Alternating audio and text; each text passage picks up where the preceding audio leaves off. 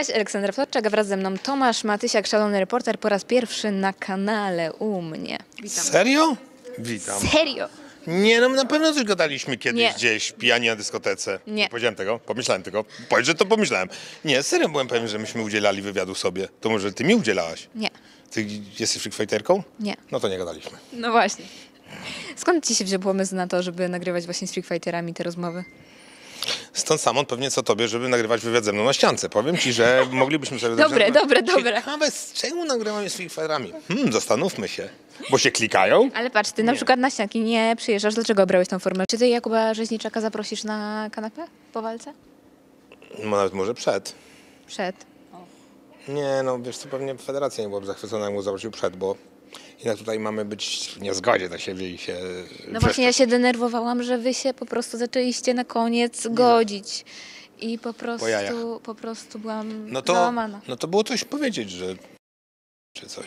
No dlatego przyspieszyłam face to face. Ale no wiesz, no ale nie, no wiesz co, z jednej strony masz rację, ale z drugiej strony to już był taki moment, że kurde, no tej prywaty było chyba za dużo i trochę się sprzedała czara goryczy. Uważam, że nie, nie widziałem czatu, ale wiesz, już to gadanie o tej rodzinie, a do niego są tylko te zarzuty. No wiesz, ja też nie jestem fanem piłki nożnej, żeby mu tam wypominać jakieś jego złe interwencje.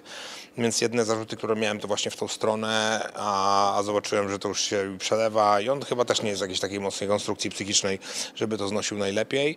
A przede wszystkim też chodzi o to, że mówimy nie tylko o nim, tylko o osobach jego bliskich, których tutaj nie ma, a jednak je w to mieszamy. A to wiem o co chodzi. No i teraz mam taki troszeczkę problem.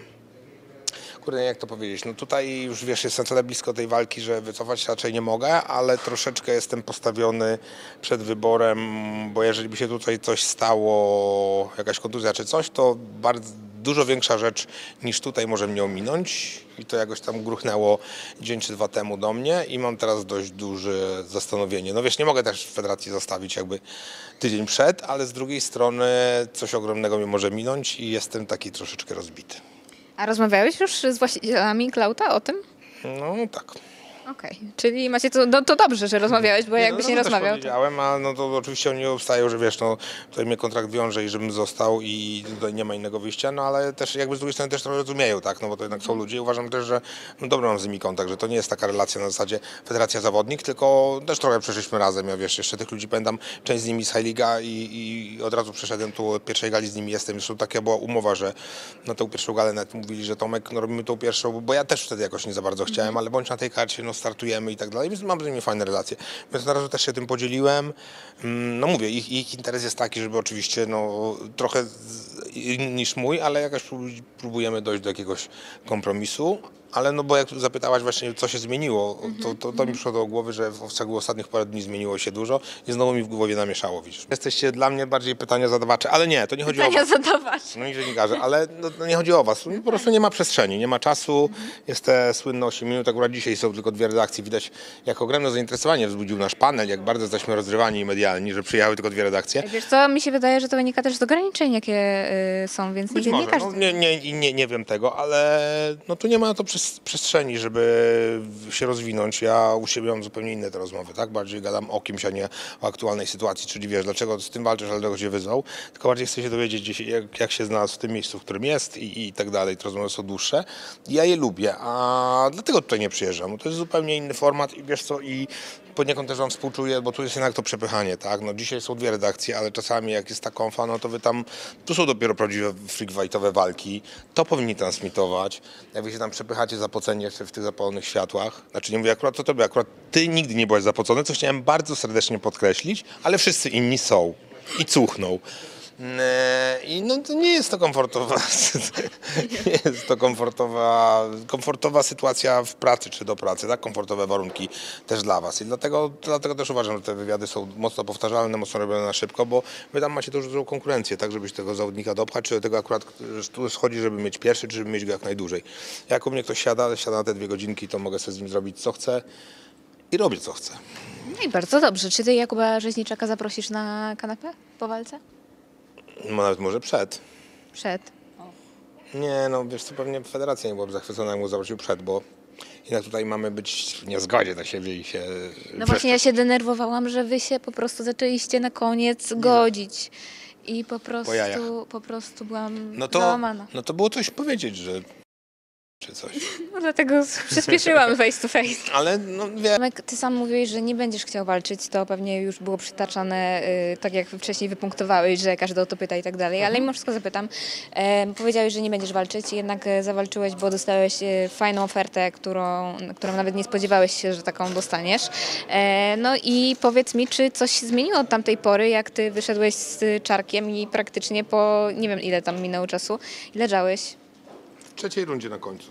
Okej, no dobra. Nie, to nie było szybko. No Pierwszą dobra. wygrałem.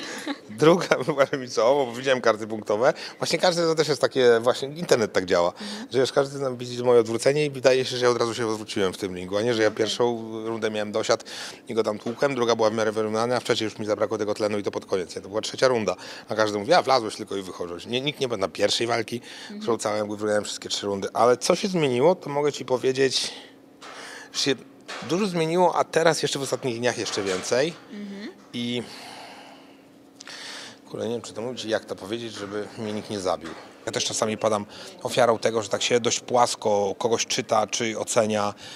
I kurde, jak już też, też nie chciałem. Nastawiłem się na większe tu gryzienie, ale wiesz, co innego jest tam Natan Martwań czy, czy, czy Denis, gdzie oni się po prostu i tyle. I oni za chwilę mogą pić, wód, pić wódkę, a mamy sobie coś realnie do zarzucenia, ale jak się to wyczerpie, to, no to ja nie będę już go tak, wiesz, but, tylko wyłącznie po złości, bo ja do niego osobiście żadnej złości nie mam. Uważam, że zrobił wiele rze- rzeczy, ale nie zrobił nic mi, więc ja do niego takiej nienawiści nie mam, nie? No ale walka walką, więc tą nienawiść musisz w sobie coś tam wykrzesić przed 8 czerwca, mimo wszystko. Wykrzesam, trochę go nienawidzę jednak. Czy, czy to potrwa dłużej niż jedną rundę? Trzeba zapytać Kuby. Nie, nie potrwa, bo ja nie mam tlenu, ja go muszę pierwszej, no jak więcej. Ja, ja mam tlenu mniej więcej na 12 sekund. Trener mówi, że jak mam dobry dzień, to na 13. Podobnie mówi moja żona. E, ale nie, wiesz co, no, mój plan to wiadomo, że to, to, to, nasze, nasze plany są zdecydowanie rozbieżne, bo on by chciał to jak najdłużej ciągnąć z tego względu, że ma ten tlen. Ja bym chciał jak najszybciej skończyć, a jak, a jak wyjdzie, to jest walka. To mnie śmieszą te deklaracje. Ale nie, no wiesz z jednej strony masz rację, ale z drugiej strony to już był taki moment, że kurde, no tej prywaty było chyba za dużo i trochę się przelała czara goryczy. Uważam, że nie, nie widziałem czatu, ale wiesz, już to gadanie o tej rodzinie, a do niego są tylko te zarzuty. No wiesz, ja też nie jestem fanem piłki nożnej, że mu tam wypominać jakieś jego złe interwencje. Więc jedne zarzuty, które miałem, to właśnie w tą stronę, a, a zobaczyłem, że to już się przelewa i on chyba też nie jest jakiejś takiej mocnej konstrukcji psychicznej, żeby to znosił najlepiej.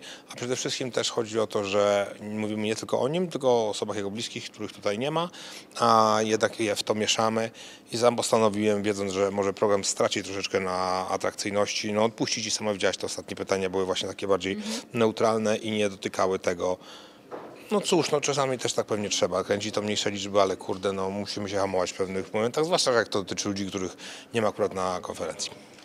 No to zdecydowanie. Natomiast na samym początku e, Marianna sama powiedziała, że jest e, zadowolona z tego, że efektem e, wspólnych sił z Wiktorią i Tobą udało się, że Jakub przeprosił na wizji publicznej swoją córkę.